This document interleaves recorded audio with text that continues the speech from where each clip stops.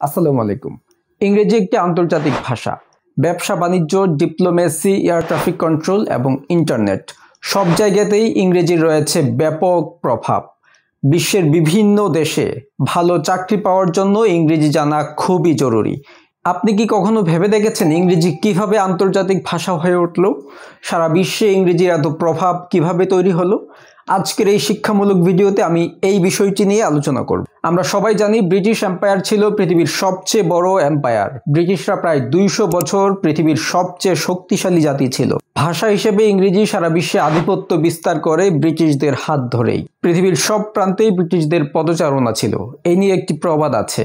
The sun never sets in the British empire অর্থাৎ British রাজ্যে কখনো সূর্য অস্ত যায় না। আমরা যদি বিশ্ব মানচিত্রের দিকে তাকাই, তাহলে দেখতে পাবো যে ব্রিটিশ রাজত্ব বিস্তৃত ছিল অস্ট্রেলিয়া থেকে শুরু করে মালয়েশিয়া, সিঙ্গাপুর, বাংলাদেশ, ভারত, পাকিস্তান, আফ্রিকার অনেকগুলো দেশ ল্যাটিন আমেরিকার কিছু দেশ এবং উত্তর আমেরিকার যুক্তরাষ্ট্র এবং কানাডা ব্রিটিশ শাসনাধীনে ছিল। অস্ট্রেলিয়াতে যখন সূর্য অস্ত যায়, তখন ভারতীয় উপমহাদেশে সূর্য উদিত হয়। আবার ভারতীয় উপমহাদেশে যখন সূর্য অস্ত যায়, তখন যুক্তরাষ্ট্র কানাডাতে সূর্য উদিত হয়। এই জন্যই বলা হতো ব্রিটিশ রাজ্যে কখনো সূর্য অস্তমিত হয় না। পৃথিবীর মোট ভূমির প্রায় পঁচিশ শতাংশ ব্রিটিশদের নিয়ন্ত্রণে ছিল।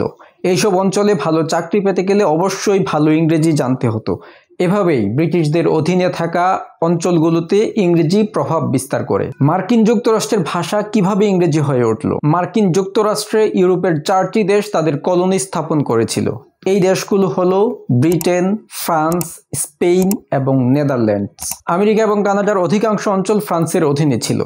সাত বছর ব্যাপী চলা যুদ্ধে ফ্রান্স ব্রিটেনের কাছে পরাজিত হওয়ার পর এই অঞ্চলগুলো ব্রিটিশদের দখলে চলে যায়। সতেরো শতকের দিকে ডাচরা ব্রিটিশদের কাছে পরাজিত হলে ডাচ কলোনি ব্রিটিশদের দখলে চলে যায়। এভাবেই ব্রিটিশরা ইউএসএ কে তাদের দখলে নিয়ে যায় এবং তাদের দখলকৃত অঞ্চলগুলোতে ইংরেজি ভাষার প্রচলন শুরু করে। ইউএসএ যখন ব্রিটিশদের কাছ থেকে স্বাধীনতা লাভ করল, তখন ইউএসএ চিন্তাভাবনা করে দেখল যে ইংরেজি হচ্ছে একমাত্র ভাষা যেটি তাদের বিভিন্ন প্রদেশকে একত্রিত হতে সহায়তা করবে। সেই জন্যই আমেরিকানরা ইংরেজিকে তাদের ভাষা হিসেবে প্রাধান্য দিল। যেসব অঞ্চল ব্রিটিশদের শাসনাধীনে ছিল, সেসব অঞ্চলের ভাষা ছিল ইংরেজি। এখন যেসব অঞ্চল ব্রিটিশ শাসনাধীনে ছিল না, সেই সব অঞ্চলের দ্বিতীয় ভাষা কীভাবে ইংরেজি হয়ে উঠল? বিশ্বের যেসব দেশগুলোতে ব্রিটিশ শাসন ছিল না, সেই সব দেশগুলোতে ইংরেজি বিস্তারের পিছনে দ্বিতীয় বিশ্বযুদ্ধ ব্যাপক ভূমিকা পালন করেছে। দ্বিতীয় বিশ্বযুদ্ধে সারা বিশ্ব দুই ভাগে ভাগ হয়ে যায়। একটি ভাগ ছিল মিত্র শক্তি, আরেকটি ভাগ ছিল অক্ষ শক্তি। মিত্র শক্তির প্রধান দেশসমূহ ছিল ইউএসএ, ফ্রান্স এবং ব্রিটেন। অন্যদিকে অক্ষ শক্তির প্রধান দেশসমূহ ছিল জার্মানি, ইটালি এবং জাপান। দ্বিতীয় বিশ্বযুদ্ধে মিত্র শক্তির কাছে অক্ষ শক্তি পরাজিত হয়। যেহেতু দ্বিতীয় বিশ্বযুদ্ধের মতো এত বড় একটি যুদ্ধে ব্রিটেন এবং যুক্তরাষ্ট্র জয় লাভ করে, সুতরাং তাদের ভাষা সারা বিশ্বে ডমিনেট করবে এটি খুবই স্বাভাবিক। এই জন্যই দ্বিতীয় বিশ্বযুদ্ধের পর ইংরেজি ভাষা অন্যান্য দেশসমূহে বিস্তৃত হতে শুরু করে। কেউ কেউ বলে থাকেন যে, যদি দ্বিতীয় বিশ্বযুদ্ধে জার্মানি জিতে যেত, তাহলে জার্মান ভাষা বিশ্বকে ডোমিনেট করত।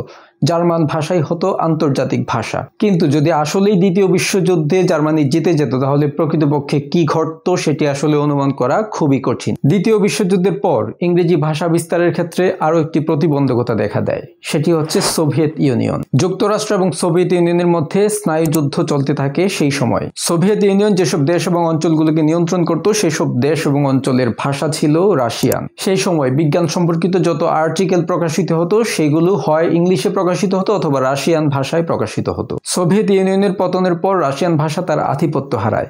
বর্তমানে যত সাইন্টিফিক আর্টিকেল প্রকাশিত হয়, তার প্রায় পঁচানব্বই ভাগই প্রকাশিত হয় ইংরেজিতে।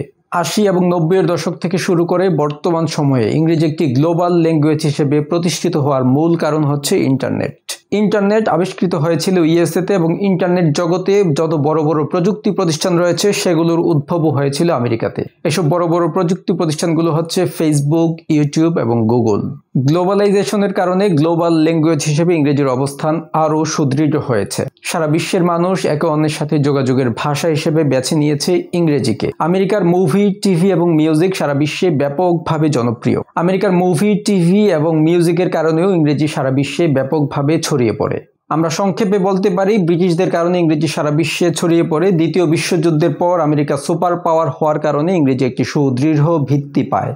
ইন্টারনেট এবং গ্লোবালাইজেশনের কারণে ইংরেজি একটি গ্লোবাল ল্যাঙ্গুয়েজে পরিণত হয়।